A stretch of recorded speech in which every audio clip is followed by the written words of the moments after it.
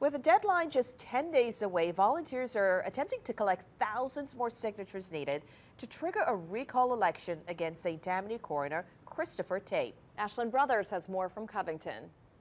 We knew it was going to be an uphill battle. I didn't think that we were going to be as far away as we are. The clock is ticking for those who want to see St. Tammany coroner Dr. Christopher Tape ousted from office. We're throwing every Hail Mary that we can here. Organizers still need roughly 14,000 signatures to trigger a recall election.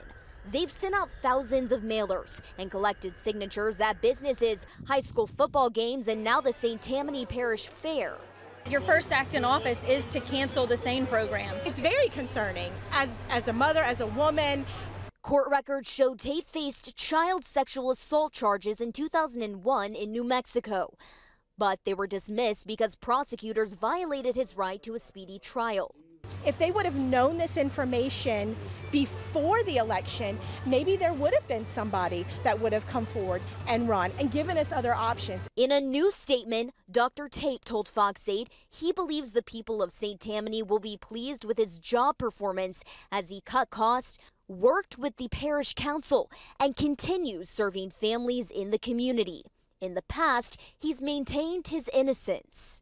I understand the optics, but Again, what am I supposed to do with the rest of my life? The 37,000 signatures are due October 14th. While we know that the clock is running out on the recall, it's really just going to start the clock on the one term that he's going to have. In Covington, Ashlyn Brothers, Fox 8, Local First.